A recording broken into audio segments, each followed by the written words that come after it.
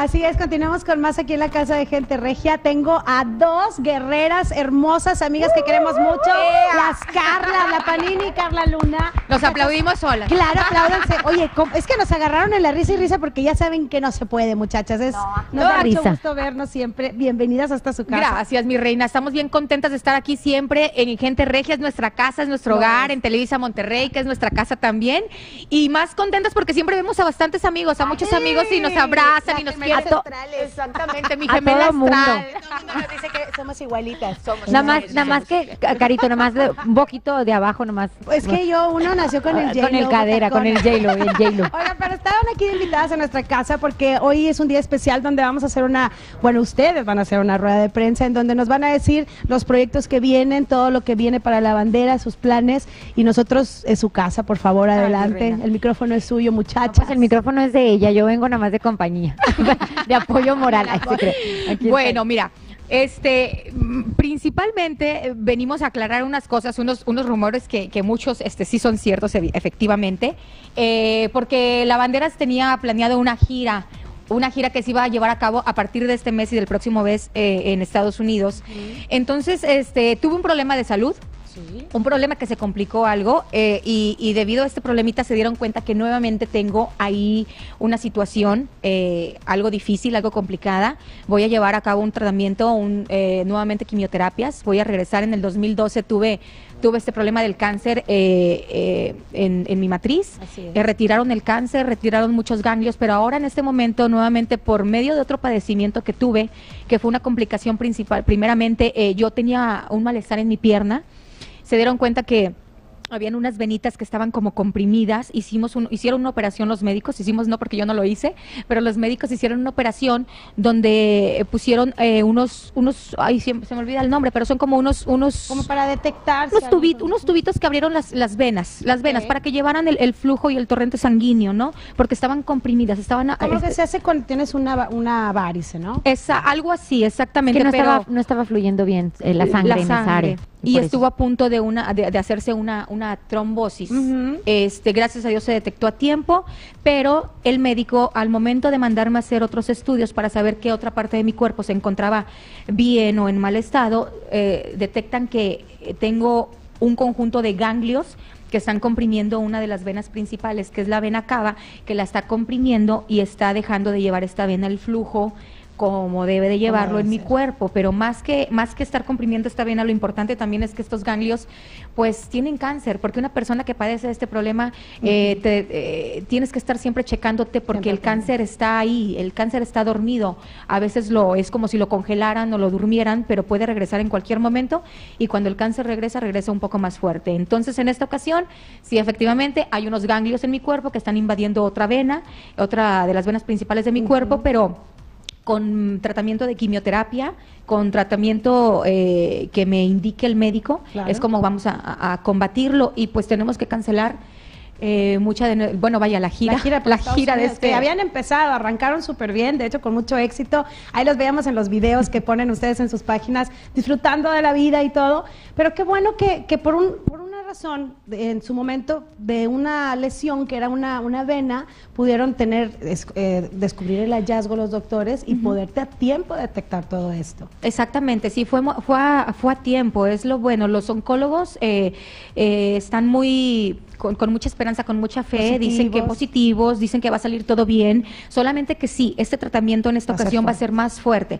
En la vez anterior vieron a una Carla Luna muy fuerte, en esta ocasión nuevamente la van a ver, porque yo siempre me río del problema Sí, y me ven muy fortalecida, pero sí en esta ocasión va a haber pérdida de cabello, va a haber, eh, va a haber eh, Dolor. va- dolor, va a haber otras, o voy a tener días buenos, otros días no tan buenos, eh, días en los que voy a tener que estar acostada en la cama porque va a haber algún tipo de dolor o de cansancio en mi cuerpo, que es por lo mismo que los oncólogos me dicen, no te vas a poder comprometer, porque es como, es como tener un compromiso No a largo plazo en el cual no vas a saber si un día te vas a poder levantar a dar show, porque no vas a tener ni siquiera humor o, o no te vas a sentir bien para levantarte de la cama. Entonces, es por eso que se está cancelando la gira, porque ahorita me ves bien, pero el día de mañana yo no sé si me va a tocar uno de los malos días, Exacto. porque el tratamiento en esta ocasión sí efectivamente es más fuerte que el de la que el de hace dos años. Y estar conscientes que es un cáncer, es un padecimiento que, que duele, que cuesta trabajo, pero tienes un espíritu muy guerrero que siempre lo hemos admirado, que te queremos tanto. Y además, la verdad, hay que decirlo y honor a quien honor merece, tienes una compañera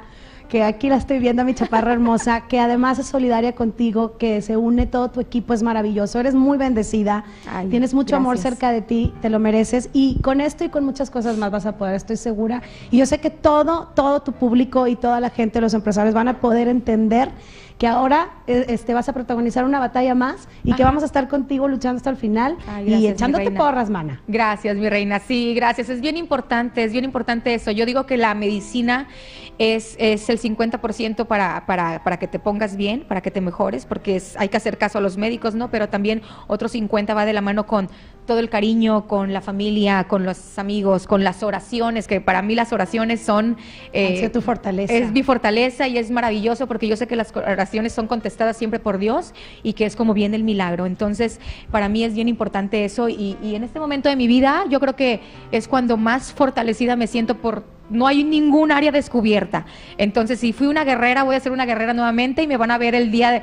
Es más, me van a ver mañana mismo bien, este, riéndome de, la enfermedad y, dándole también fortaleza a las demás mujeres que están padeciendo, que pasan por una situación similar y decir que no se acaba, la lucha no se acaba, mientras hay vida y esperanza. Y, siempre lo digo, el campo de batalla está en la mente. Si tú en la mente estás fortalecida y dices, voy a salir adelante y voy a vencer esta enfermedad, enfermedad, vas a vencer la enfermedad. Y así es como yo lo estoy viendo, con mucha fe, con mucho positivismo y riéndome nuevamente, riéndome de la, de la vida. Claro. Oye, ¿tu mayor fortaleza? Mi mayor fortaleza, mis hijos. Mis hijos, sí, mi familia, mis hijos. Mi inspiración más grande.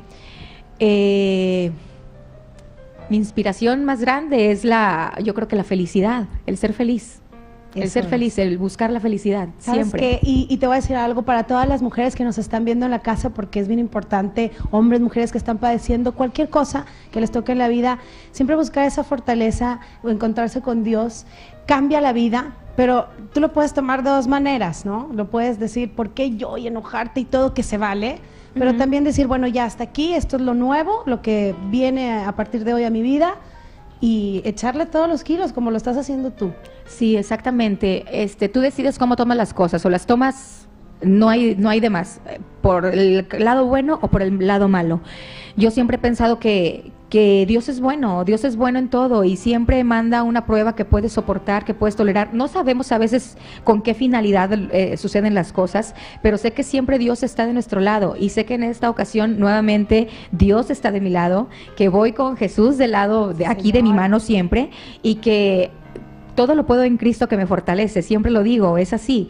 Yo, yo sé que Dios tiene planes, que siempre los planes de Dios son perfectos y, y hay que tomar las cosas de la mejor manera. Sí, no es fácil. Te dicen, tienes cáncer y no te vas a poner a gritar y a decir, ay, qué padre, tengo cáncer. No, obviamente no.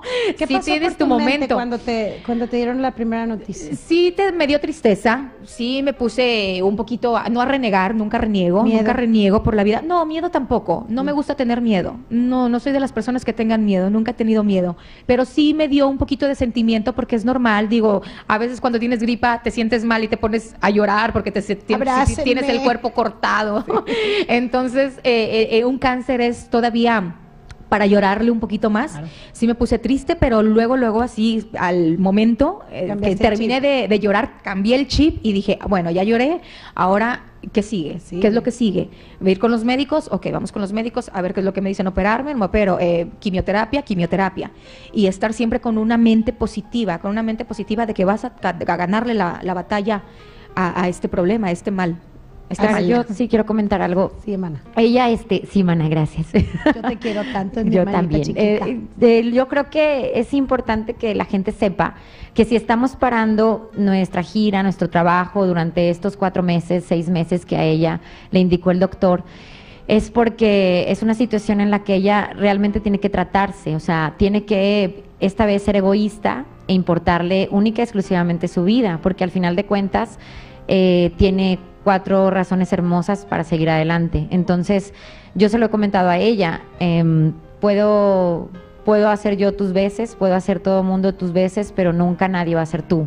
Entonces, tú tienes que cuidarte más que nunca estos meses en los que te van a estar dando esta quimio y también quiero aclararle a la gente que si la ven de repente peloncita, no se asusten, porque quiere decir que el tratamiento. está que el tratamiento está Funcionando. funcionando. Yo tenía una, eh, una, una forma de pensar errónea acerca de las quimioterapias. Cuando ves a las personas enfermas de cáncer y que las ves tan delgadas, tan devastadas y, y- y con el, el pelo caído y todo esto, la gente dice, no, están cada vez peor. No, no es eso, es que la quimioterapia es finalmente un veneno que ataca tanto lo malo como lo bueno. Entonces, ahora sí que hay que pedirle a Dios que se le caiga su pelo. Para, sí, para que... para, darnos cuenta que el que está tratamiento está funcionando. Funciona. y, y si está, y, y yo estoy segura, en verdad, se lo he dicho a ella, estoy segura que ella va a salir adelante otra vez. Ella es consentida de Dios, todos lo sabemos. Ella es una mujer que, que ha librado muchas batallas, no nada más las del cáncer, ha pasado por muchas cosas. Y una vez más Dios la va a sacar adelante. Yo, no te- yo tengo totalmente fe en eso. Para lo que yo voy a doblar mis rodillas es para pedirle a Jesús que le quite ya ese cáncer de su cuerpo, ¿no? Exacto. Pero yo sé que esta vez va a salir, es simplemente para que ya se le, se le quite De una vez por totalmente, todas. de una vez Ya, por todas ya, que se le quite ese mal. Y también vamos a seguir las lavanderas, obviamente aquí, tanto Carlita Luna y yo vamos a seguir trabajando aquí en muchas cosas, si ella se siente bien y si ella lo permite, siguiendo eh, a lo mejor tal vez alimentando el, el canal de YouTube, tal vez grabando ciertas cosas para Telehit, o sea, todo va a seguir conforme ella vaya dando la pauta. Solamente las giras no, ni el trabajo fuera en shows y esto, porque Es muy no puede viajar y es muy pesado. Entonces, muy pesado. pero eso es lo que la situación que pasa, porque mucha gente luego piensa que, pero qué le pasó, pero ya no, ya son los, es el, el fin de los tiempos. No, no, es el fin de los tiempos. Ni me claro estoy muriendo, no. ni me voy a morir. Claro, no va a pasar, No, lo- no va a va pasar. Pero y, la- sí- y tampoco, y tampoco se termina esto. No, no, y sí era importante decirle a la gente y, y sobre todo la, la gente que nos contrata y todo, que supieran cómo es la situación, porque de repente es una falta de respeto de que, no, pues estas ya se desaparecieron del panorama, quién sabe qué pasó, se pelearían o que, que se separaron. Sí. Todo el mundo, ¿no? Se- En este, en este rollo de, de trabajo, este dice, se separan ya por la lana, ya no se pusieron de acuerdo y adiós. Claro. Pues no, no es por eso, es porque estamos dando un tiempo a lo que realmente ahorita importa, que es cuidar La su vida. vida. Así es. Exactamente. Así es. Pues les agradecemos muchísimo este acto de valentía, de enfrentar, Claro que sí. de venir a decir. Y además me encantó algo, amiga, porque tú dijiste, no quiero músicas tristes. No ni quiero que me pongan eso. música No, la triste. lucha, En la y quiero fúnebre. luchar con todo, pero quiero optimismo. Y así lo vas a tener. A Sí. toda la raza que está viendo aquí la televisión y que estás usted, tú, comadre, en la casa o ahí con tu familia, todos los, los eh, el ejército miedo, que, que bárbaros son aguerridos también. Arriba mi ejército miedo.